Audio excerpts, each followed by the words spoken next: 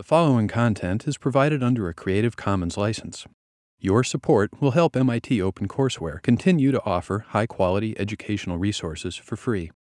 To make a donation or view additional materials from hundreds of MIT courses, visit MIT OpenCourseware at ocw.mit.edu. So the question is, we have the string S is the string 600 is 6111 and 6002. So we're going to create this string here, right? It's initially an empty string.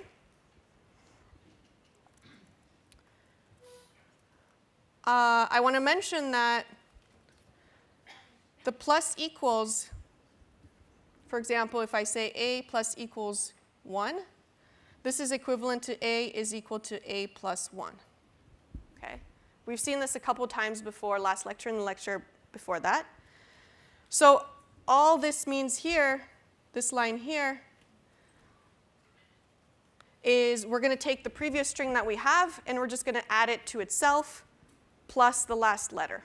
So the first thing we're going to have is going to be new underscore str is equal to 2.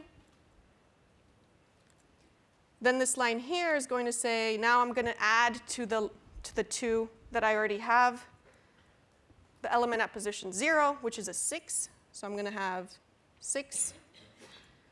Then I'm going to add to that the element at position at index 4. So I'm starting to count from 0. So this is 0, 1, 2, 3, 4. Right? So that's a space. And I'm going to go, notice I have 4 and then nothing in the middle. So my stop is going to be length s by default. And I'm going to take every 30 characters. Now, every 30 is longer than the actual string I have, right? So we're just going to end at the end of the string. So this, the next thing that we're going to add is a space. Okay? And then the last thing we're doing here is we're starting at 13. So now I'm going to have to count 13. 0, 1, 2, 3, 4, 5, 6, 8, 9, 10, 11, 12, 13. That's the 1. I'm going to go backward because of this minus 1.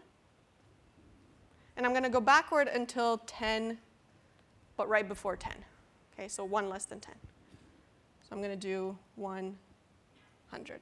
So this one, this 0, and then this 0. Okay, and then I'm going to print this new string.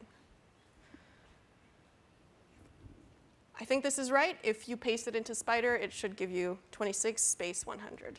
So think most of the class got it right. I think. Yes, perfect.